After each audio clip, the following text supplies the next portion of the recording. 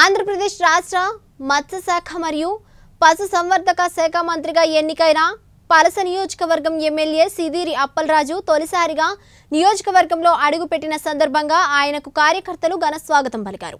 విశాఖపట్నం విమానాశ్రయం నుంచి నేరుగా తన కెన్వాయిలో బయలుదేరి ఏచర్ల నియోజకవర్గ ఎమ్మెల్యే గొర్లె కిరణ్ కుమార్ జిల్లా ముఖద్వారం వద్ద మంత్రికి స్వాగతం పలికారు.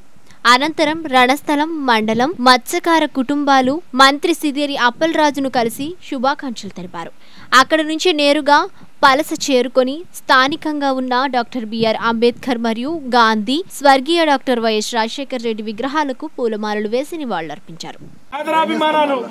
మీ అభిమానం జగన్మోహన్ రెడ్డి గారి పట్ల నా పట్ల వైఎస్ఆర్ కుటుంబం పట్ల ఇలాగే ఉండాలని చెప్పి వాళ్ళందరినీ కోరుతూ మరి ఈ సందర్భం మనం వీలైనంత వరకు వేగంగా డిస్పర్స్ చేయటం మన అందరికీ మంచిది కాబట్టి మరి నేను ఇక్కడతో నా ప్రసంగాన్ని క్లుప్తంగా ముగిస్తూ చివరిగా ఒక మాట.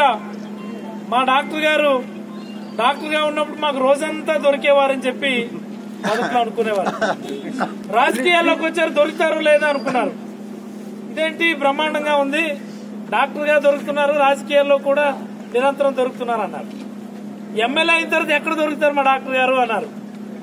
ఎమ్మెల్యే అయిన తర్వాత కూడా ఇరవై నాలుగు గంటలు కాస్త ముప్పై ఆరు గంటలు అయింది నాకు షెడ్యూల్. మళ్ళీ ఇప్పుడు అందరూ మినిస్టర్ అయిపోయారు డాక్టర్ మరి ఇంకెక్కడ వస్తారు? ఇది మన ఆత్మ.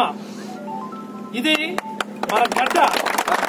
ఎక్కడున్నా సరే మన ఆలోచనలన్నీ కూడా మనందరి చుట్టూనే ఉంటాయని జగన్మోహన్ రెడ్డి గారికి పలాస అంటేనే ప్రత్యేకమైనటువంటి అభిమానం చెప్పి